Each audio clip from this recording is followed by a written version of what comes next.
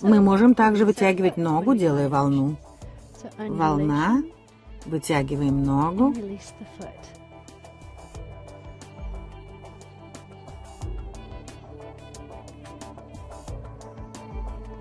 Добавим движение рук к волне.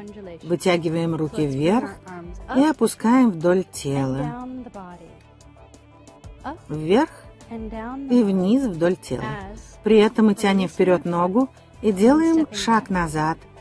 Объединим все вместе.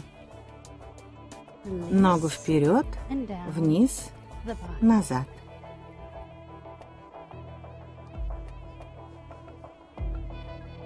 Попробуем с другой стороны.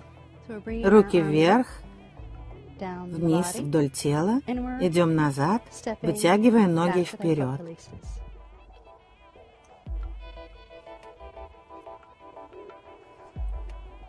Волны лучше делать стоя под углом к зрителям, чтобы они прекрасно видели все ваши движения.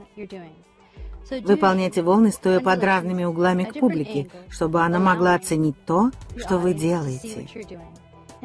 Это, конечно, относится и к волне животом, потому что только так зрители могут увидеть со всех сторон все нюансы этого едва заметного, но прекрасного движения.